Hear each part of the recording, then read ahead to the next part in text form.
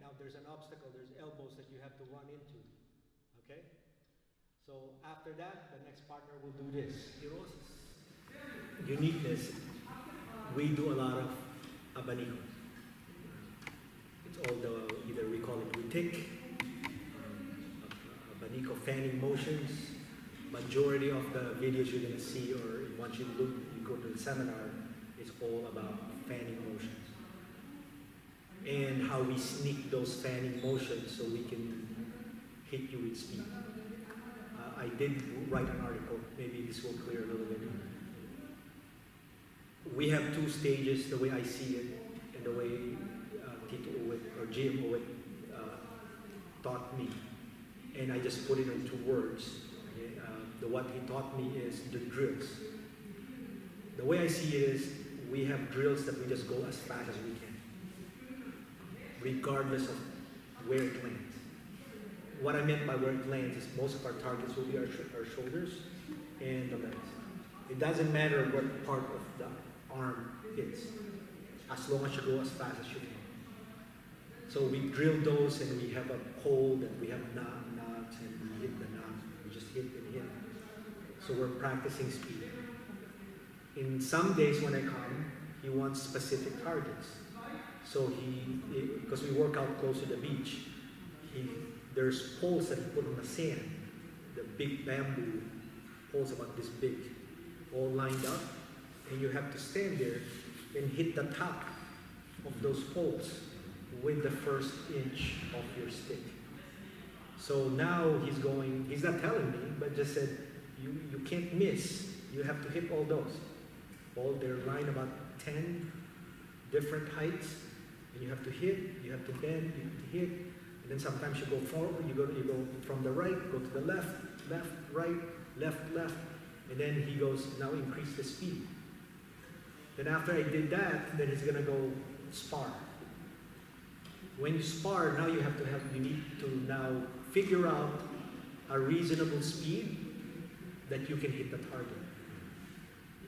I think that's the main difference of our art to regardless of what other, if we're other arts. That means now if I'm gonna hit, if I wanna use hit the star, I will say I'm gonna hit that star. Or if I'm gonna say I wanna hit that knuckle, I'm gonna hit that knuckle. That's the way I see here Rosa de Cuerdas. In a way, my journey to FMA, Serrada was the same way with me because when I was learning with Master Jimmy Tacosa, he will say, pick a target and hit it. But we don't drill like what in Heyrosa, we have poles that we hit. Actually, my students right now, I tell them to make a pole that you can hit horizontally and up and down. Specifically to hit, to learn speed and precision. I think that's the main difference, and the, the way we enter is a little bit different. Maybe the block might be similar, but we call it the one click. We go one click and we go. And we, the way we do it is we constantly attack you. Uh, but we don't disregard blocking. So for us, we always try to go, we block and attack at the same time. It's kind of hard to explain without Yeah, execution. it, uh, maybe later we just put Yes. Some videos in it. And do we have like basic 12 angles of attack, something like this? Or like We don't have 12 angles of attack. We have 12 targets. Okay. So we call them targets, we don't call them uh, ang- uh, angles. The reason for that is the cuerdas in Spanish, who the heck's Kevin? He, he's the one who plays the guitar, but maybe later on you'll pull him out, right? It's playing the chord. So, you know how to play an instrument? No, so both of us doesn't.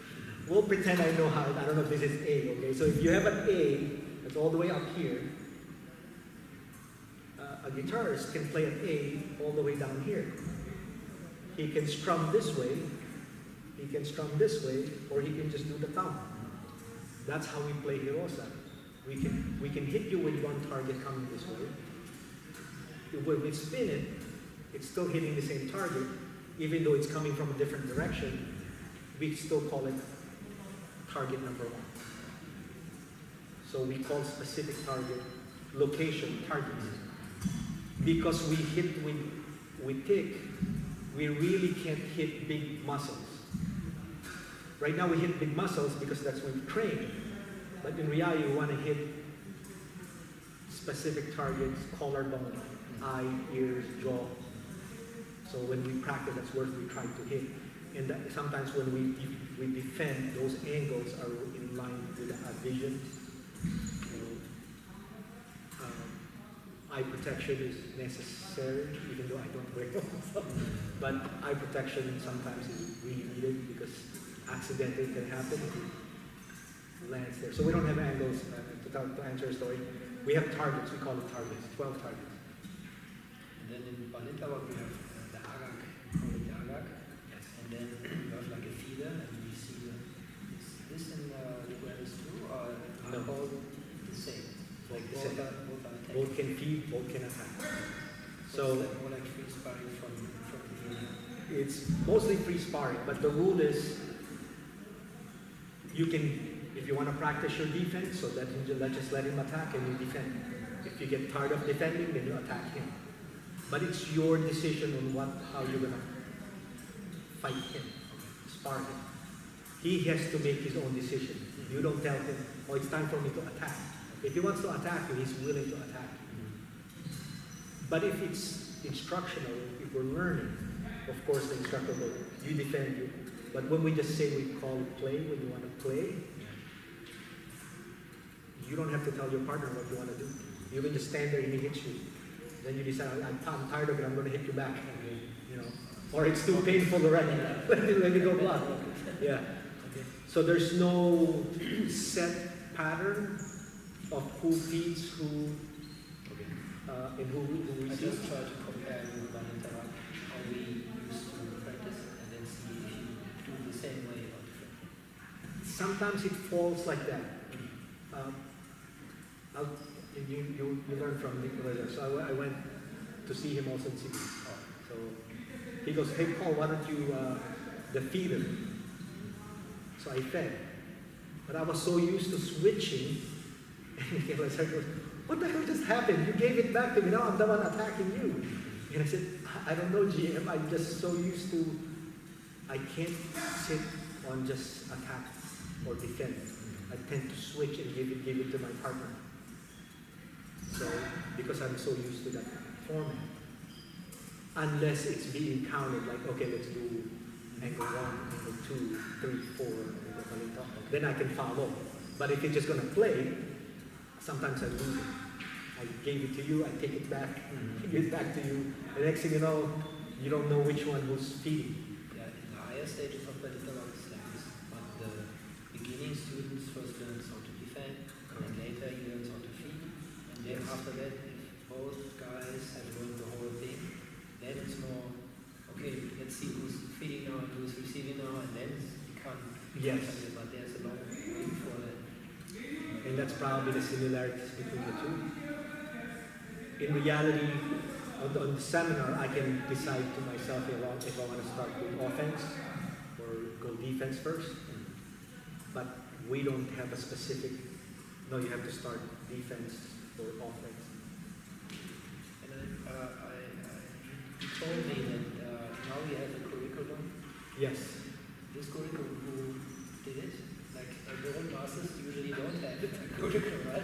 So somebody had to put it together and said, okay, maybe we have to, to uh, organize it a little bit. There's actually two curriculum that exist right now. When they opened their martial arts school in Cebu, they, they, they have what they call warrior uh, certificates. You can go, I think, to warrior seven.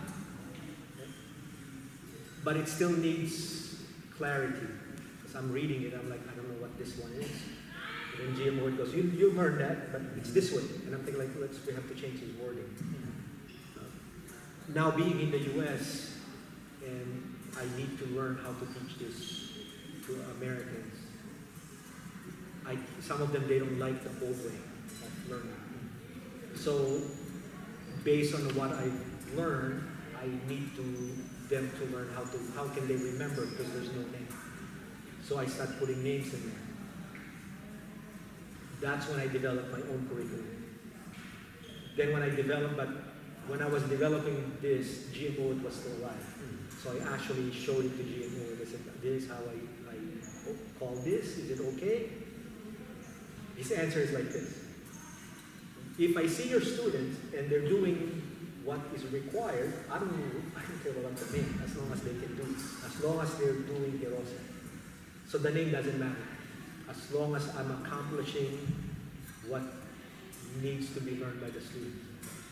And uh, your program, how many levels do you have? I go up to five levels to get instructorship.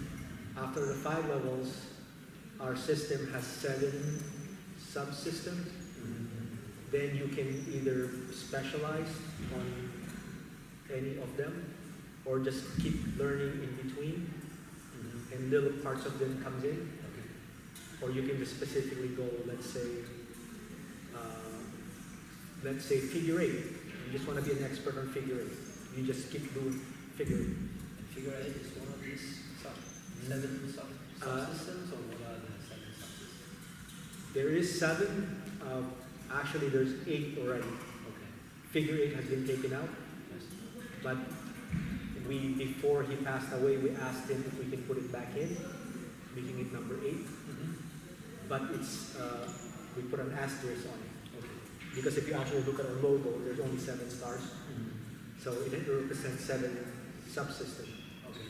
The, because we took out one, we put another one in there. Mm-hmm. So what happened is, what I was being taught is the addition to the art. Um, the people, the Grandmaster, Bebot, Rene, Bon Chao, they learned the figure. When Richard, me, Gene, and Don Don was learning, he said, do not do figure eight anymore.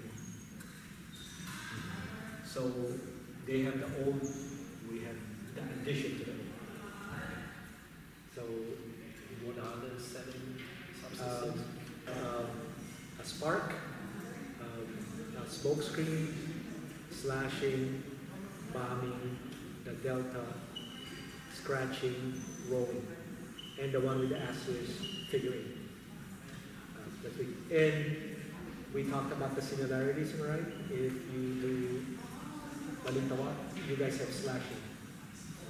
We do, we do it a lot.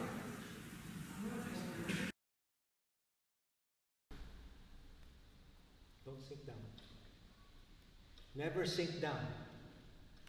Because these are quick defenses. You have no idea that the guy came in. It is almost like it's an emergency, I have to do something. Especially wiper. Wiper is emergency. It's like flies comes in and they're gonna attack you. Oh my God. right? If it's a bunch of bees or flies are coming into you, you do open, close. You- You're not gonna. Some of them are gonna sneak in because they're coming fast. So you go, right? Maybe one or two will come, but at least majority of them might you they, you might stop them. I mean, disarms wise, no specific one. You just have to make sure if you know a disarm, you should be able to do it in place. Okay. So it's not like we do this is our number one and this No, we don't have two. Us is, you want to do your number one? The way it's, the, uh, Uwit will show this arm, and it's gonna go, okay, while you're playing, see if you can do it, but no specific name. Okay. And then for my experience, I found out that there's a few disarms that will really go fast and work faster than the rest. But it's, it's nice for you guys that you guys are organized. It actually makes my job easier. I'm just gonna go over here and try this one. if I think about the beginning students who never did any disarm before, then it's good for him to maybe learn some basic disarms so that he just has a little bit of an idea. I give the most, I give the most common one that happened, and it just, it, for some reason, it just keeps coming up. And then, if they want something new, then I show it to them, but in play, first one that I keep usually the one that comes. But the first two or three is always there. Yeah. This is uh, also a characteristic I think about the bilateral system I do, because we have a numbering system like this number one, this number one, this number two, from number one to number two, and so on and so on. But some of these disarms, uh, I think, in, when it's going very fast, very hard to do that. So for me, real bilateral disarming is maybe concentrated on three Yes, disarms, maybe that are for me really Balita because it's working in Daga. correct. And the other stuff, maybe some more modern styles like very fancy disarming, um, is uh, it's, it's maybe it's nice to have like 500 disarms from for number one, angle number one, but it's not realistic. So it's just a collection of disarming, but actually, yeah, what for? So I think uh, every style should have his own uh, this maybe disarming program and not doing everything, but doing what is right and then stop. Don't do more. Because sometimes if